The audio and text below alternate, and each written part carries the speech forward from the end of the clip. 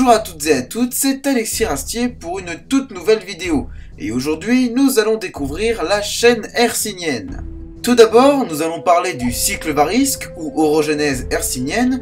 Ensuite, nous parlerons de l'impact de la surrection de la chaîne hercynienne sur la faune, la flore et le climat global de la Terre. Et enfin, nous conclurons cette vidéo. J'espère que cette vidéo vous en apprendra beaucoup sur l'histoire géologique de la Terre, alors bon visionnage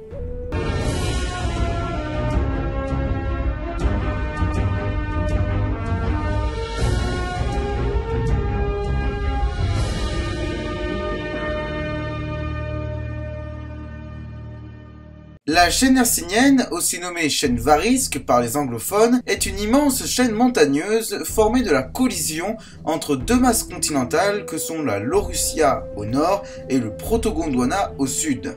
De cette collision se forme du Carbonifère au Permien supérieur le supercontinent unique, la Pangée, et bien évidemment la chaîne varisque ou hercynienne qui sépare l'Eurasia et Gondwana d'est en ouest. Pour commencer, qu'est-ce que l'orogenèse d'une montagne? L'orogenèse désigne l'ensemble des processus permettant la formation d'un massif montagneux. De sa formation, due à la collision de deux plaques tectoniques continentales ou océaniques de même densité, de sa longue érosion, jusqu'à sa totale disparition et à la formation d'une pénéplaine. Une pénéplaine étant les restes d'une chaîne de montagnes après son érosion. Seuls quelques reliefs y subsistent encore.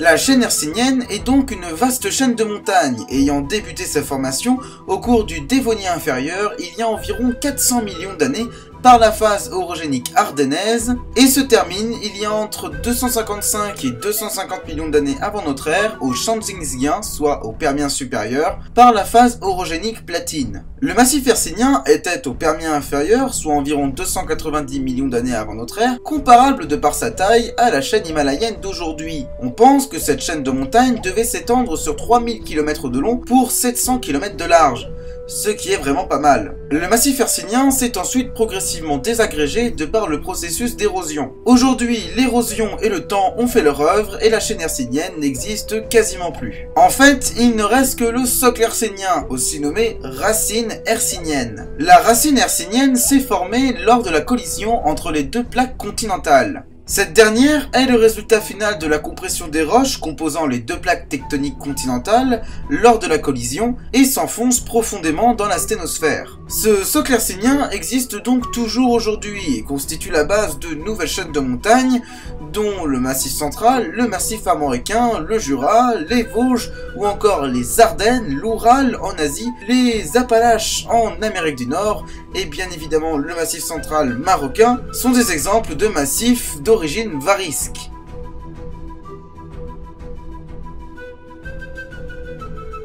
La chaîne hercynienne avait très certainement joué un rôle non négligeable dans les différents bouleversements climatiques qui ont eu lieu au cours du Carbonifère et du Permien. En effet, l'orogénèse hercynienne est une des causes probables du grand refroidissement climatique ayant eu lieu au cours du Pennsylvanien. Il y a 320 millions d'années, au Pennsylvanien inférieur débute une nouvelle période froide. Le refroidissement global engendre la formation d'Inlansis à l'extrême sud du Proto-Gondwana. Cette grande glaciation, qui se termine au Permien moyen, a différentes causes probables. Une activité volcanique intense dont les poussières auraient empêché une grande partie des rayons solaires d'atteindre la surface de la Terre, mais aussi la tectonique des plaques et la naissance de la Pangée qui ont eu très certainement un impact très important sur les différents courants marins et évidemment sur le climat. Nous pouvons aussi prendre en compte l'enfouissement de la matière organique d'origine végétale qui aurait donc plusieurs centaines de millions d'années plus tard constitué les fameux bassins houillés que nous exploitons aujourd'hui. Et enfin, la surrection de la chaîne hercynienne et son érosion ont eu très certainement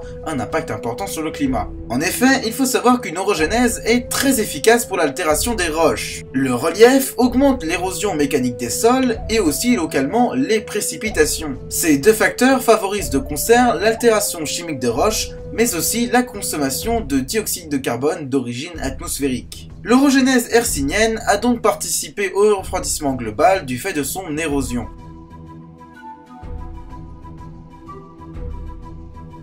La chaîne hercynienne aurait pu favoriser la naissance d'innombrables déserts d'abri, car les précipitations venant des océans auraient été bloquées par le massif. Ces déserts se seraient ensuite étendus pour former un désert central, vaste, chaud et aride, au cours du Permien moyen et supérieur. Par contre, à l'image de la chaîne de Rwenzori au Congo, un des deux versants de la chaîne hercynienne devait être particulièrement humide, du fait que la plupart des précipitations, étant bloquées par le massif, se seraient concentrées au même endroit. Ces pluies abondantes devaient favoriser le développement de forêts tropicales chaudes et humides sur ce versant. Ces dernières pouvaient donc permettre l'épanouissement de différents stégocéphales comme les ténosondiles ou encore de thérapsides. On peut donc penser que la chaîne hercynienne engendrait d'un côté de vastes déserts d'abri par manque de pluie et de l'autre de vastes forêts humides.